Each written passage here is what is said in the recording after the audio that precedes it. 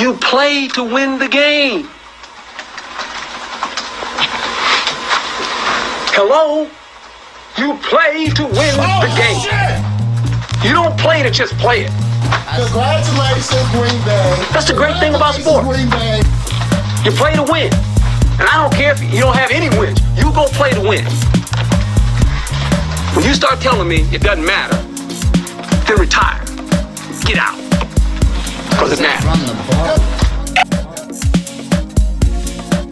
Well, good morning, good people. Mark Holmes here, of course, with my buddy Cowboy Jobu.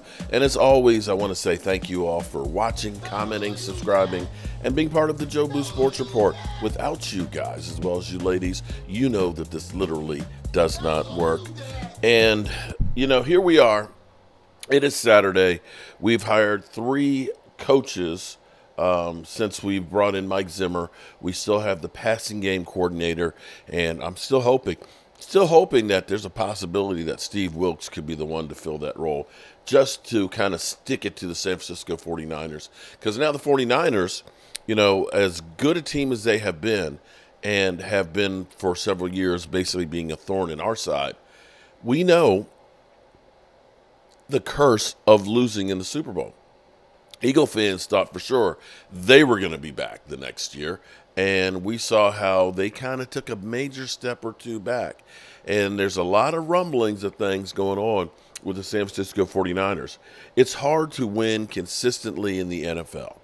I understand Jerry Jones and Stephen Jones's point of we want to be good every year in building for the future instead of saying we're going to go all in. I get that. Don't necessarily agree with it. You have to pick and choose when you say we're close. We need a little extra oomph. The Cowboys' philosophy, of course, is building through the draft. And that works out great when you have great drafts. But I want to take it back, go back a little bit and see how we've done over the last three years. Because if you're only diving in free agency as fill in guys, and when you're trading for guys, you're trading later round picks for guys that are past their prime. No disrespect to Brandin Cooks or Stephon Gilmore. But as I hear people say, sign Bobby Wagner, a guy I was talking about two years ago, we've now put on another 300 plus tackles on a body that's gotten two years older. And typically, that's what the Cowboys always do. We don't bring in primo players. We bring in good players that are now old. This is like Washington bringing in prime time after his prime. When we bring in a Clinton Haha Dix, a George Iloka, a, a Gerald McCoy, and Everson Griffen, um, a Dante Poe, these are all older set guys. Half the time they don't make it through the season. Jason Peters. We have to get out of that. But let's go back. I want to go back to the 2021 draft. Okay? 2021 was the draft, of course. We got Micah Parsons, linebacker, and didn't really know what we were going to get out of him. And he ended up becoming incredible. Just incredible uh, on and off the field. Incredible blogger, uh, NBA MVP last night. Incredible. You can't you can't argue with that pick. Although they actually wanted to go cornerback. Kelvin Joseph, and this is where my new philosophy for the Cowboys is just trade your number two picks. Either package it up with your number one and try and move up further, or trade back with that number two and get some thirds. Because for whatever reason, the Cowboys' second round pick does not help them much. Ever. Ever. The two that you look at that have been good for him Diggs and D Law. And that goes for the last 12 years. Sam Williams and Schoonmaker, the jury's out. We'll see. They're still young, still time to turn around. But Boss Man Fat, oh boy, what a disaster. We did draft Osa. This is the 2021 draft. Osa Odighizuwa, who has been a good, very good defense tackle. Be it he is a little bit small. He's a great pass rusher. He's got great hands, but as being a run stopper, he doesn't have enough ass ass back there to drop the anchor. Chauncey Golston, another good role fill in edge rusher. Not a bad pick. Nahshon Wright, not a bad pick, you know, um, when you're talking about a third round pick. Um, Jabril Cox, no longer on the team. Josh Ball, ugh, has not been great as a fourth round pick. Simi Fehoko, yeah. Quinton Bohanna, no longer on the team. Israel Mukuamu um, has been good. Matt Farniok, have, haven't seen him much on the field.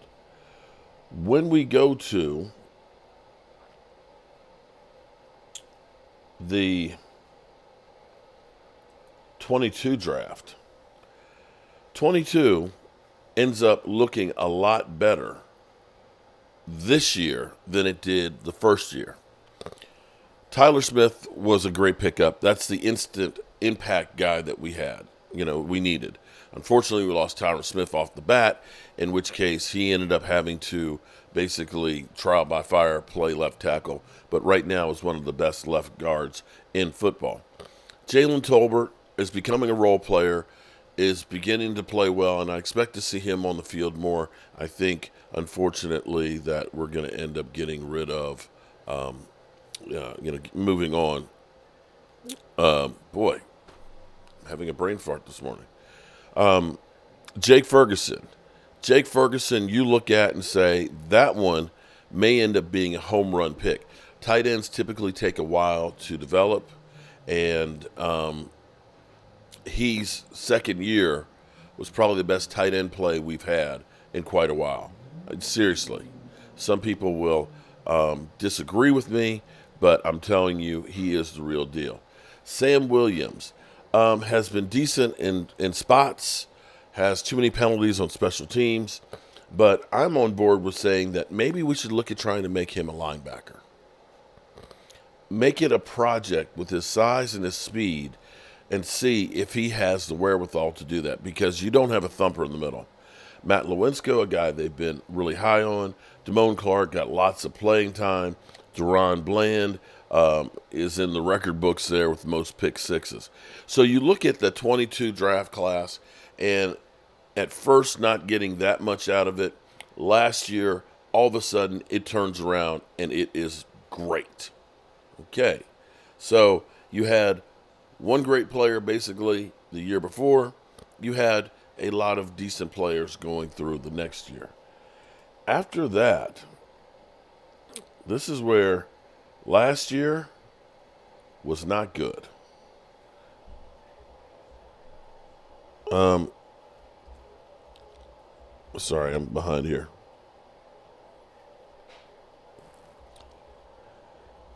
We ended up having the worst draft class last year, last rated draft class. We got absolutely positively nothing out of last year. That's not to say that we don't have the second year step up. I thought for sure that Mazi Smith was going to be able to help plug the hole along with Hankins to be able to rotate in there and to help us with the run stopping. I'm not sure what the plan is for Mazi Smith. He is now under 300 pounds, where he was 337 and could hardly get on the field. We're going to need a big punch on that defensive line. We're going to need two big guys to fit Mike Zimmer's um, defense. And we'll have to wait and see if Mazi Smith can turn that around. That narrative was just not good. Schoonmaker was injured most of the offseason and through training camp and ended up being, he, he played more later in the season, um, but not what you want from your second round pick. And this is another case where you look at it and say, yeah, second round picks have not been very fruitful for us. Overshown looked like he was going to have the best um, rookie year for us as far as drafts went. But unfortunately, he got hurt early in the season. He may have made a heck of a difference for us, and hopefully he'll come back fully recovered this year and has the opportunity to really step in and play because we have a need at linebacker tremendously. Simi Fehoko um, got on the field from time to time, but not much of an impact. And so you start looking at this and saying, um, with the exception of our kicker, we didn't really do great as far as the draft. And here's the problem for the Cowboys. When you have a year like that, and then you go into a year like this year where you have the 25th, is it 25th or 26th? 25th pick, and then you get your second round pick, your third round pick, no fourth round pick, no fifth round pick. Um, you may get one as a compensatory one, but no guarantee it may be two sixes. You don't have a lot of draft capital to work with, and you're going to have to use free agency. And keep in mind that um, I don't know that Kellen Moore is going to be the genius that saves Jalen Hurts. But what I do know is he knows the personnel here with the Cowboys. And he knows Mike McCarthy. I don't know that Dan Quinn is going to be the difference maker on the Washington Commanders that do have the highest amount of cap space and the number two pick in the draft knows our personnel and our team as well, as well as Mike McCarthy. So it's going to be more difficult to fool those guys. The Cowboys are going to need to change things that they do, change a lot of things when they play those teams. I'm not going to say that those teams necessarily are going to be better than us. I don't think that the Washington Commanders are. But sometimes that doesn't matter if you know what the other team is going to do and knowing their weaknesses. The big question will be is what will Washington do? Will Washington move up and try and get Caleb Williams? That is going to be an interesting take. And I'm going to turn this over to ESPN on that one. Um, for me, they've been that route before. Taking, they have so many holes and so many things to fill it may take two or three number ones to move up to get that because I can guarantee you that the Bears, why take just a little bit from Washington just to get the number two pick when I can take multiple picks from somebody else coming from further out? But then again, what do I know? Let's listen in. The NFL, where the draft just over two months away, and in Field Yates' first mock draft of the season, the former Heisman Trophy winner, USC quarterback Caleb Williams, projected to be taken by the Bears with the top pick. Now, overall, he's got five QBs going in the first round. You take a look there. One, two, three at the top of the draft. He's got the Patriots resetting with Drake Maye, the Commanders second picking the Heisman current Heisman Trophy winner, Jayden Daniels. All right. Um, oh, speaking of, sir, yes, sir, Commander Tim. Look, our I want the truth. He's been a season ticket holder for a couple of decades now. We I went into the wrong line of work. I look good in that uniform. Maybe that should have been where I where I went, man. I love Commander Tim. That is tremendous. Never All right, gets old. Never gets Mike old. T. We got to start with uh, those Commanders. Do you need to think you think they need to go all in? Go get Caleb Williams. You think? I, I, don't. I think they stand pat where they are. You can take Drake Maye. You know, someone would take Jayden Daniels, and I really like Caleb Williams. I think he has a chance to be really good. Two things he's got to clean up: the turnovers and the sacks. He was sacked 83 times, and offensive tackles have been taught since Pop Warner pushed the pass rushers past the pocket. Caleb Williams has a really bad habit of trying to escape backwards, and he's running to a bunch of sacks. That can be fixed. Um, look, they have some really good young players, and Tim knows that, you know, from Terry McLaurin and some of their other young skill players. And Drake Maye didn't have a lot to work with. I think you draft Drake Maye there. He has all the intangibles, and that's the way I would go. I wouldn't pay that massive premium for Caleb Williams. Legs, look at that. All right, I said it. You season ticket holder for like a couple of decades now. Do, do you want Washington to trade up and go get Caleb Williams? I don't, and here's why. Because of the mixed bag of reviews I get with all the NFL people that I talk to. And I think that's scary to me for a guy that's supposed to be surefire number one. I, I feel like I don't hear as much of that with Drake Maye or even Jayden Daniels, but I hear a lot of that with Caleb Williams. Like the, the, the reviews are all over the place, and that kind of scares me that you're going to give up something additional when mm-hmm. you might be able to just pick the guy too that might be the better fit for your franchise. So that's scary. I, I'm almost like in Washington let it be like a Greg Oden, Kevin Durant situation, right? Yeah. Where being number two is good, Right, so you don't have a choice in the matter. Mm-hmm. It falls into your lap, or like a Brandon Ingram, like a Ben CJ Stroud situation. situation. There you go. That's what I'm saying. So I, I'm, I think I'm comfortable with that rather than give something up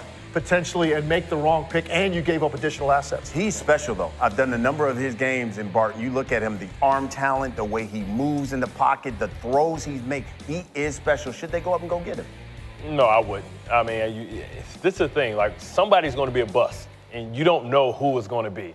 I mean, I, I, think the last time where we had three hits, I think what it was um, maybe Eli Rivers and I forget who Roethlisberger. and Roethlisberger, right? I don't I don't know if this is what we're looking at. And Mm-hmm. you talk about giving up additional assets for that. I think you just you know Jayden Daniels may be the best one, but we know environment matters. So you are you prepared to be able to handle these young guys? If you bring in Caleb Williams, are you going to make him be the savior again? We watched what happened with Mitchell Trubisky. We watched what happened um, with Justin Fields. Are you going to bring in a competent backup like a Jacoby Brissett and say, hey, we're going to bring this guy along and we're not going to put him out there till we know that he's ready?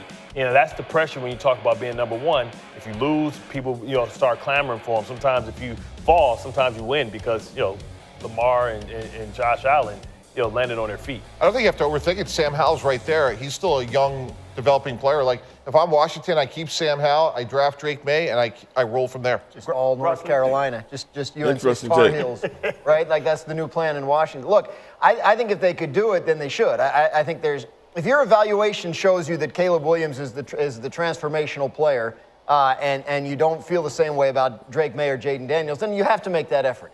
But for that reason, I, I don't think the pick's going to end up being for sale. right? I, I think Right. Chicago probably just sits there and takes him. Um, but yeah, I mean, to your point, you don't hear as much about Drake Maye uh, or Jayden Daniels in terms of that. But I think if either one of those were thought to be the consensus number one overall pick, you might. Right? I think like all you can do with Caleb right now is knock him down. Yeah. So I think that's why you're starting to hear those questions. And when you talk about Washington's situation, if they were able to do it, having Cliff Kingsbury there and his history, not just with Caleb Williams, but with other mobile quarterbacks that may have needed to iron out some of the stuff that Mike T is talking about, you know, and and and helping Kyler Murray transition to the NFL where he's been a good player. So I, I think there's a lot to be said for that situation for Caleb Williams. I, I just think it's a pipe dream because I think the Bears are going to take it. Yeah. Yeah, well, what would the Bears give that pickup for? They have two picks in the top 10. Right. Like, we're, we're, we're in the building process now. It's time for mm-hmm. Matt Eberflus to win. And he's not going to give up a talent like that, and then maybe not one that's supposed to be generational. Right, we talked about it the, this morning. You know, Carolina, we'll see what happens with Bryce Young, but the other thing that happened in that building every week was, oh my God, look how good CJ Stroud is. Chicago does not want to see Caleb Williams go to another team Right. and be like, wow, look how good he is. The, the mm-hmm. similar situation in NBA, if you recall, remember Philadelphia 76ers traded up to get Markelle Fultz with the number one pick, and they could have just held the pick and drafted Jayson Tatum. Yeah. I don't know if this Right. is that situation, Right. but I'm just saying. And, and now the Philadelphia 76ers fan base has to watch Jayson Tatum torch them for like the next, you know, 15 years. All right. There you go. Interesting take. And I will say that the 2021 draft number one, Trevor Lawrence. Number two, Zach Wilson. Number three, Trey Lance. And thus far, I don't know, man. The jury's out. Now, CJ Stroud came into a great situation. The funny thing is, is they didn't really seem to be on board with CJ Stroud early on. In fact, it seemed like they were kind of denigrating the guy, and he ends up coming out and playing phenomenal. But it also depends on your circumstances of what you have around them, the coach that you have. There's so many different variables that it, it's just hard to get into. But let's be clear here the Cowboys are going to need to get a home run with the few draft picks that they have. They're going to have to make the most out of them.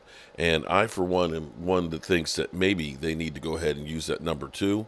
And I'm, I hate to say this because it's contrary to my usual beliefs, where I say don't trade up because now you're risking two picks. But you need an impact. You need an impact in a guy that's going to be a, a player that's going to be there for the next 10 or 15 years. So we'll see where this all goes. And um, I will catch you guys on the flip side. Peace out.